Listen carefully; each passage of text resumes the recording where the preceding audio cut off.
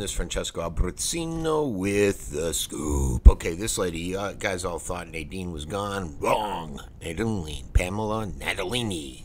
Nadine, I don't know why I call her that.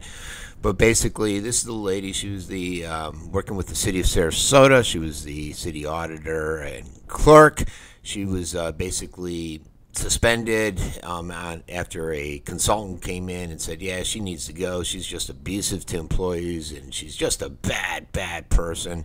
Um, so basically, they asked her to. They gave her room to quit.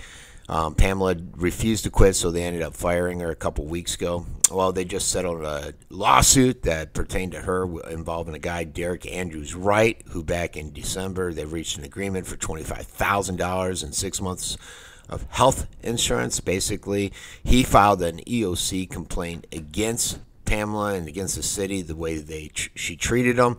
He said that the uh, workplace just grew hostile, and he was she when she came in, she began to reassign his work to other employees. And shortly after, he sprained his back and had to get therapy a couple times a week.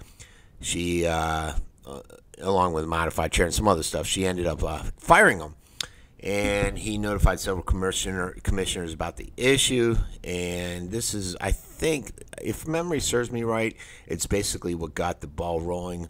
Um, that led to this what 70 page report saying how bad of a person is. She engaged in retaliatory, retaliatory, retaliatory can't speak today, conduct um, outside of legal boundaries. And um, the whistleblowers and employee protection laws and all that stuff came together, and this lady is without a job. But we haven't seen the last of her. Um, I am confident that she will bring a suit against the city. This has been Francesco Abbruzzino with The Scoop.